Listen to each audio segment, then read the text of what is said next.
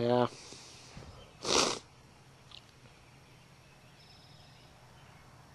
Really not much to see here. Well, this is another case of a deja vu. Here's that old Montgomery Ward's uh, Tru-Cold box fan made by Lasko. Last time you saw this running was back in October, and it hasn't ran since. But since uh, it was raining and storming and shit, I decided to, uh, I mean, since I was bored, try and do something with it. I mean, it's not restored, but I got it to the point where I can run it without much problems, as it's still thundering outside. Pretty much what I did, if you notice, I did replace the cord with a slightly newer cord that came from an old fan that I destroyed months ago. And, uh, placed it with a toggle switch that was going to go on another fan that I was planning on uh, restoring, but it didn't fit. But since I still had it, I figured I'd use it. And since the original, well, not really the original, but the switch that it came with was a jury-rigged one to begin with, I'm pretty sure that was the reason why everything was still so warm. I mean, I had this thing running for about an hour and a half, and uh, there was no problems.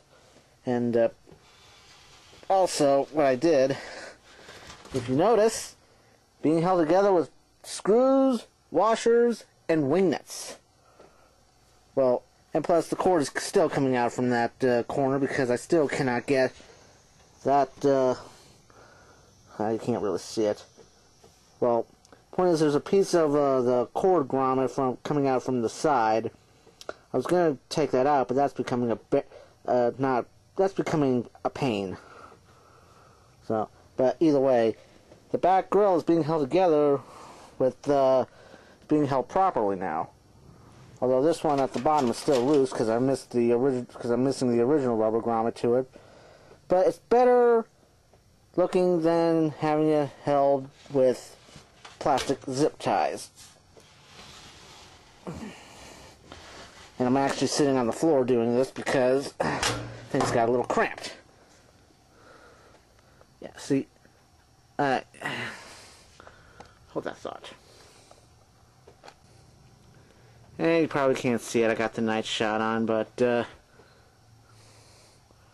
yeah, you can barely make out the wing nuts being held together. And uh, even though those screws are kind of a little long, the blades clear out pretty well. So, so I guess without further ado, oh, and the switch that I replaced it is still one speed, but um, I may plan on I may plan on having this a two speed again. I'm not sure. I just want to get this running because I got tired of looking at it and not doing anything. But without further ado, here's on.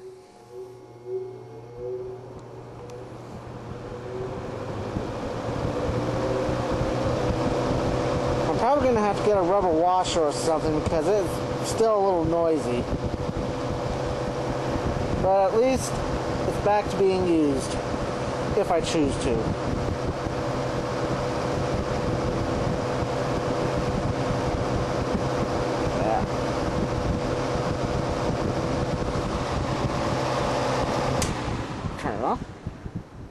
I did put a couple drops of 3 in 1. And one blade is shinier than the other because when I took it out of the bathtub because I was cleaning the blade, the paint was starting to come off. So I'm going to have to strip that out. But right now, I think I got, I think this project is slowly but surely coming along. And, uh, hopefully more to come.